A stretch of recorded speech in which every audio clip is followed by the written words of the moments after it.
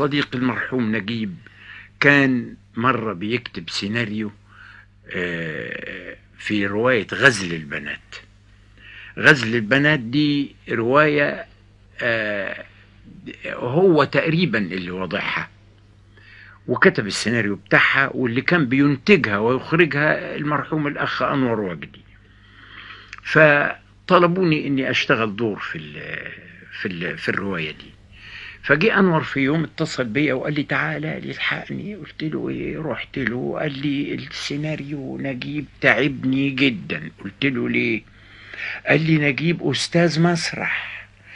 الحوار اللي هو بيكتبه مسرح. مش سينما.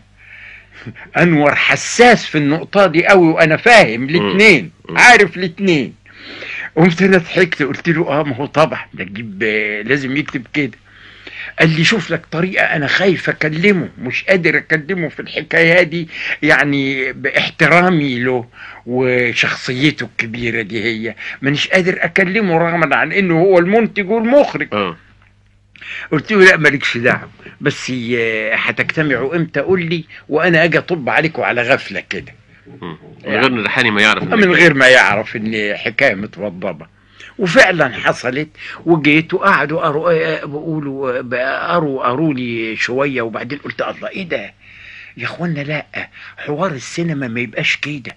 ده حوار السينما لما أكتب حوار سينما زي ما أكتب تلغراف كل ما أقدر أحذف كلمة يكون أحسن.